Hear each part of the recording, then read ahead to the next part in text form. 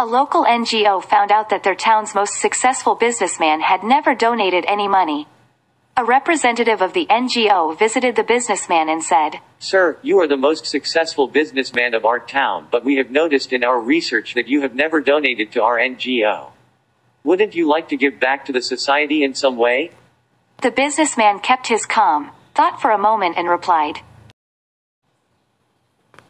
Did your research also show that my mother is very sick and that her medical bills are way above her income? No, we did not know this. Secondly, my brother has lost his job and is currently unemployed for a month now. He and his wife are having a hard time to support and take care of their children. The representative wanted to apologize but was cut off by the businessman. And last, my sister has gone through a horrible divorce. She has to look after herself and her three kids.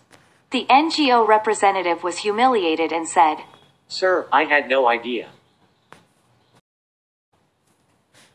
The businessman once more cut him off and said, I don't give any money to them. So why should I give any money to you?